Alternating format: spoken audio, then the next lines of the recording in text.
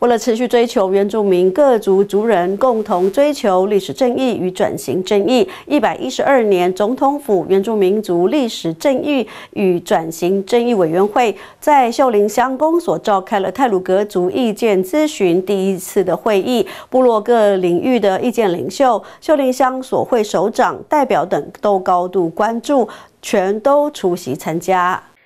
院长会李德玉都表示，这是院长会最重要的提案之一，就是泰鲁格族自治专案计划，就是期望能够在这次泰鲁格资商会议中受到委员以及各部落族人认同，同时也会移师到万隆召开，与万隆乡族人们一同讨论未来对泰管处以及林田山划设为泰鲁格自治区示范的重要细节，也非常感谢园会、熊乡公所、万隆乡公所以及在场委员的支持。争取泰鲁格族民主权益又迈向进一步了。泰鲁格国家公园林田山作为泰鲁格自治，机会非常好啊！这是不是机会非常好？不是我嘴巴讲的，我是只是表示啊。还有更高层的讲的话，我在那边告诉大家啊。所以我们机会很大。所以为什么一直动员要我们乡长去到万隆乡那边演一个我们的共识？他们很在意这个事情，你们有没有共识？哦，所以我要拍照来带去。当然，要我们在那边举手支持这个事情。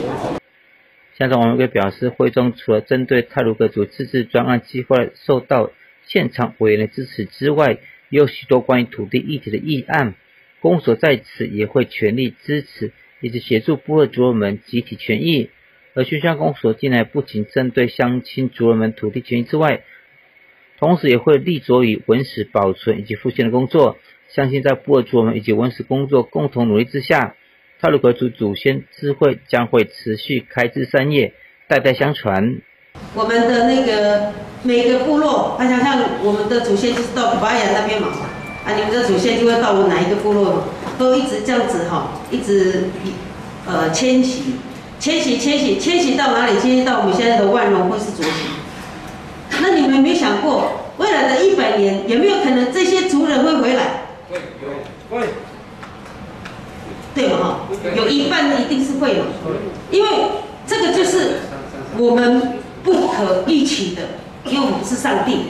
所以如果真的有那个机会回来，说为什么我们不先做好准备，让我们原有我们自己的土地，哈，先做好准备，让我们自己原有的土地，让以后的孩子能够回来经营它，这是我的观念了哈。泰鲁格族自治筹备委员会也会前往万隆国小活动中心召开泰鲁格族自治专案计划协调会议，将针对泰鲁格自治示范区的范围、泰管处林田山组织章程、管理方式进行初步的沟通讨论，